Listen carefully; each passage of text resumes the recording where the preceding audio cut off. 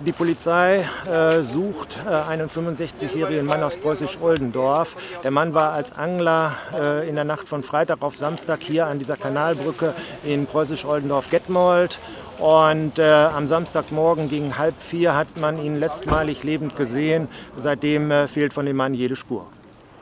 Was auffällig ist, ist der Umstand, dass der Angelstuhl in der Nähe des Ufers umgekippt lag. Äh, deshalb vermuten wir, dass es möglich ist, dass der Mann äh, vielleicht in den Kanal gestürzt ist. Äh, deshalb versuchen wir hier äh, mit gleichen Spürhunden Hinweise auf den Verbleib des Mannes zu finden.